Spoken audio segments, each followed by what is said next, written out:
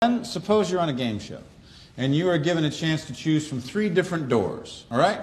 Now, behind one of the doors is a new car. Behind the other two, goats. Which door would you choose, Ben? Uh, door number one. Door number one. Ben chooses door number one. All right, now, the game show host, who, by the way, knows what's behind all the other doors, decides to open another door. Let's say he chooses door number three, behind which sits a goat.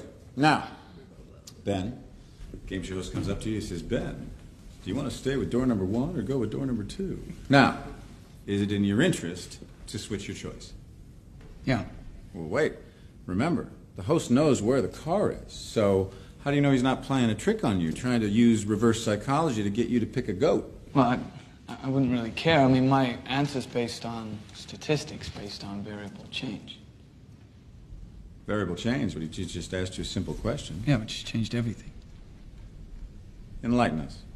Well, when I was originally asked to choose a door, I had a 33.3% chance of choosing right. But after he opens one of the doors and then reoffers me the choice, it's now 66.7% if I choose to switch.